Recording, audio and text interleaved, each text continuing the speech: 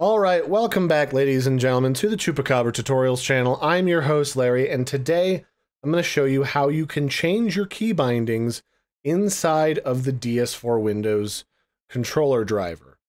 This will allow you to change your key bindings for your PS4 or your PS5 controller because out of the box, all it's doing is mimicking a default Xbox controller because that's what Windows plays nicely with.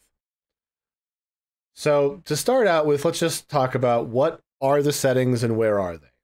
So over here in the top of the window, you've got controllers, profiles, auto profiles, output slots, settings, and log.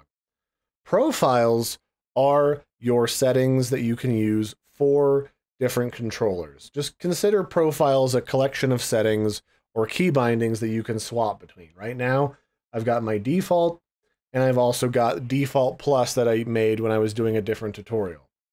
So let's just duplicate default plus, and we'll just call this our fancy profile, and we'll save that. So to edit these profiles, you can do one of two things. You can edit it directly in here, or under controllers, you can select the one you want to use, and then you can literally just click this word edit, and it'll bring open the settings panel. This is the same regardless of where you click edit to edit the profile. In here, it's a little load of stuff all of a sudden. This side over here is kind of like on the right is kind of like the technical settings of setting up dead zones, sensitivity, all that sort of stuff. You can even change like the light bar, touchpad controls, gyro, all that stuff. But what we want is on the left side. So this is a picture of a PS4 controller. And this will also mirror a PS5 controller. They're basically the same layout wise, just the PS4 is a little less advanced. And what you'll do is if you want to change a button, you just find it on this picture, hover over it, and let's say I want to change the touchpad to mirror a mouse. So let's click the right side of the touchpad, and it'll pop open this window. What this window allows us to do is select a button that exists either on your typical keyboard, your typical mouse, or on your usual Xbox controller so that we can bind it to an equivalent button. That's how this works. You're just binding it to the equivalent that already exists on your standard PC. So I wanted to do a right click. So over here we have the mouse and I'll select right click. And then over here, I'll select the other side, the left click, and I'll make sure it's selected to be my left click. So now that can function as my mouse because the touchpad itself if you click here, actually, I am not sure which part I want to make sure is the touchpad. You can also find the buttons down here in this big list. But what you can do is you can just use the touchpad by default as a mouse on your PC when you're not playing a game. And I don't think you can change that behavior. I think that's just how it works because it's basically the same as a laptop touchpad. And then now with this being like a mouse, I can just scroll around. Oh yeah, it is working right now. I can scroll around and then I could potentially use this as a mouse by clicking left or right. It also responds to taps, just like a mouse pad on a laptop. So that's basically in a nutshell how you re-keybind things. You find the button or the approximate button if you're using a Nintendo controller because this does support Pro Controller and and Joy-Cons. And then you just find the button inside of this picture here. Like in this case, I want the circle button to mimic the B button, which it already is. And then once I'm all done, I can click save up here at the top. And boom, it's ready. Now there are a few other settings that I'll go over just so you're aware in case you need to change that. So over here, if you're looking to change a dead zone, those settings are right here. Now what is a dead zone? All controllers have phantom inputs on their joysticks. It means they think that you're moving it even though you're not because either it's damaged, it's wore out, or it's like a factory defect. Almost every controller has a little bit of something kind of wonkadoo with it. So as a result, they have some settings in here that you can increase the size of the dead zone so that it ignores that input until it reaches a certain amount when it knows you're controlling it and you can change those settings here. I have a tutorial that goes more into detail about that. I'm not going to go into that on this one. And that's split into the left stick, and then down here is the right stick. And then you've also got the other buttons to change their sensitivity as well, because the trigger buttons have a lot of sensitivity because you want that when you're playing like a first person shooter so it responds quickly so you don't get taken out in your match.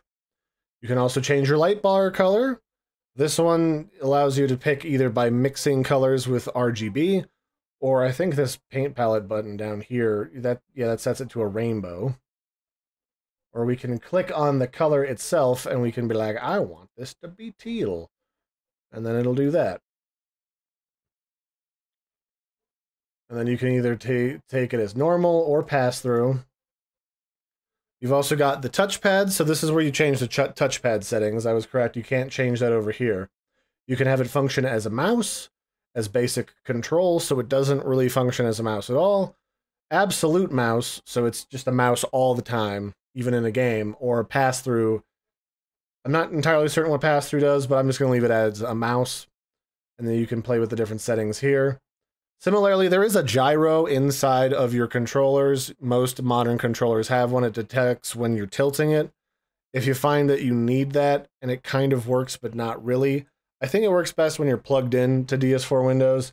You can change what the buttons do when you tilt it up, when you tilt it down, left, right, all of that stuff. You can click here to similarly assign it to a different button or a different function.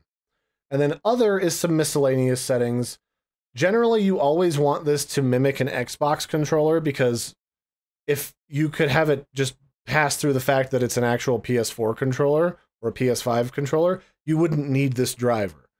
Most games have Xbox controller support on Windows if they support controllers at all. Very few will detect a PS4 controller and know what to do with that. So you pretty much always have to have it set to be an Xbox controller. Then you've got some rumble sensitivity, how powerful that is, and you can test it by clicking these buttons so you can feel it. You can change the mouse sensitivity if you want to use the, the touchpad some more. And then down here at the bottom, if you want to reduce the lag when you're doing this over Bluetooth, you would increase the pull rate to a max of one millisecond, so that just keeps pinging your controller a lot to reduce lag. The downside is that'll eat your battery a bit more. Not terribly to my understanding, but enough. And then the other thing you can do to reduce input lag is you can disable enable output data to DS4. That's where your controller talks to the driver and back and forth so it knows what's going on. This will just have the controller sending stuff to the driver and then sending it on to your game if you unselect that. And it cuts down on the lag just a teensy bit, but sometimes that matters in a high stakes game. Now, the other thing that you can do if you don't want to just edit one of the existing profiles is you can create a new profile from scratch. So the next piece is we can click new, and that'll bring up this little wizard, and then it'll say, hey, do you want to use a preset option? Choosing no will cause the profile editor to use a completely empty gamepad profile. So if you want to literally bind everything from scratch, you would say no. I'm not quite that crazy, so I'm going to say yes. I want to um, select either a gamepad, a gamepad with mouse-like joystick, a gamepad with high precision camera, a gamepad with gyro mouse, KB and M controls, or KB and M controls with gyro mouse. I'm just gonna go with a gamepad. I want it to output an Xbox controller because if your computer knew what to do with a PS4 controller, we wouldn't need this software. So that won't really help us. And then I'm going to click apply. And it's going to pre-populate a lot of the settings inside this profile for us. And one of the first things I'm going to do is I'm going to click the light bar. I'm going to change the color to a nice green. So now uh, my controller will output a green color on the light bar once I've got this saved and set to my controller. And then I can go around and I can click on different buttons and I can bind them to different stuff. Just I'm gonna I'm doing it randomly. There's no rhyme or reason, so don't don't mimic anything you see me changing here. But like I can change these to be any of these buttons right here just to make sure you know the joysticks line up. This start button is the start button, all that good stuff. And then when I'm done, I can call this my ultra sweet key bindings. And then I can save that, and then I can assign it. Whoops, that's not what I want to do. And then I can assign it right here. Now, similarly, if you're setting this up and you don't want to go to the profiles, you can also start a new one from right here with this little pull down arrow. Same thing. So yeah, that's it for this one, ladies and gentlemen. This has been just a brief look at how to set up your key binding profiles inside of DS4 Windows. I hope you found this helpful. Until next time, I've been your host, Larry. Don't forget to like and subscribe, and I will catch you next time. Bye, everybody, and have a good one.